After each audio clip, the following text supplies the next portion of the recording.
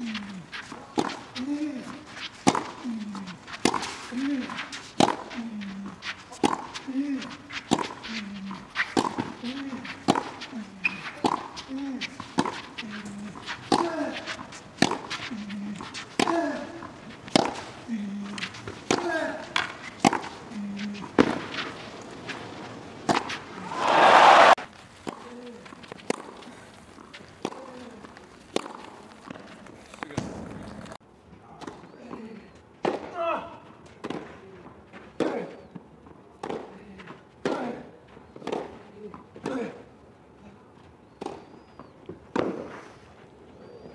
Oh, what a way to get out of jail there.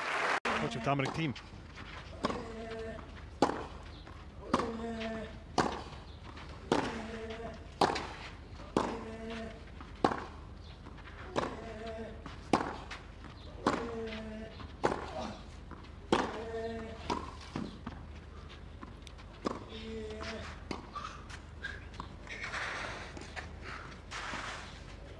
He can do that, we know.